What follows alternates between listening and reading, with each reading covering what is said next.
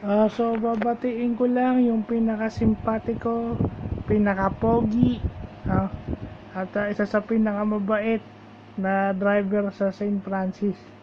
So, advance happy birthday to Kuya Dodong Flores o Kuya Merlito Flores. O, yan. Ah, malaki utang na loob ko dyan kasi kung hindi dahil dyan eh, hindi dahil dyan hindi ako matututong gumising ng maaga. Yung disiplinang gumising ng maaga kasi lagi akong first rate. No? yun yung mga naituro sa akin yun eh. Pagka kasi maaga yung pasok di ba? So hindi ang bait niyan. Ang bait niya. Alaga ako niyan eh. So happy birthday sa'yo kuya dong in advance.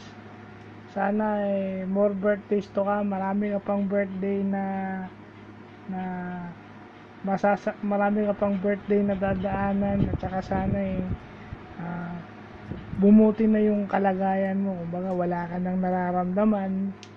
Balikan na sa dati. O tsaka ah, yun lang. Sana nakakapag-drive ka pa ng ng nakakapag-drive ka pa ng palagian.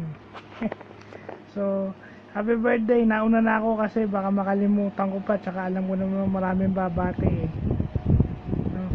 At least nauna na ako para hindi ko pa makalimutan. So God bless you and uh, more power